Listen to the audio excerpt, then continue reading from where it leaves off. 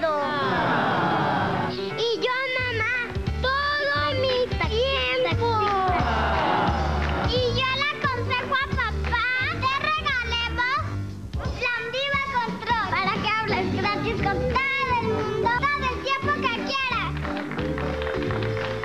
Tú también, regálale a mamá un plan Viva Control. Y los teléfonos son